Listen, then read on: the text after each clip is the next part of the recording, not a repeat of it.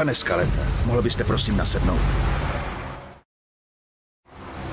Hej, staříku, pojď se zvrátil. Vlez do toho zatraceného auta. Hned. A tohle je... Tohle je náš přítel, pan Chu. Tak jo, co se děje? O co jde? Jde o tebe. Pěkně si to posral. Začal si skurvenou válku. Nemám tušení, o čem to mluvíš. Neser mě, chlapče. Už jsem z tohohle biznisu zapomněl víc, než ti budeš kdy vědět. Polovina našich chlapů je mrtvá, polovina chlapů pana Čů je mrtvá a teď po nás všech jdou federálové. Kvůli tobě. Leo, poslouchej. Ty poslouchej. Nebýt mě, už by se o tebe někdo postaral. Takže budeš poslouchat, co ti teď řeknu a budeš poslouchat pozorně.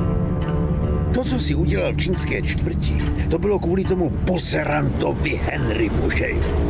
Věděl jsi, pro koho pracoval, když zemřel? Myslíš, když ho rozsekali? Pracoval pro federály. Byl to skurvený práskač. Proto lidé panačů udělali, co udělali. Proto teď jdou federálové po Karlovi. Ale já na své přátele nezapomínám, Vito. Pomohl si mně, já pomůžu tobě. Vybral jsem si pár laskavostí a zajistil ti jednu jedinou šanci napravit to. Fajn, poslouchám. Zbavíš nás Karla a všem nám pomůžeš. A když odmítnu? Tak zemřeš. Frank a zbytek komise tě chce mrtvého. Stejně tak pan Chu. A navíc si označený jako práskač. Myslíš, že to Karlo ponechá jen tak být? Jsi chodící mrtvola. Kdy? Hned.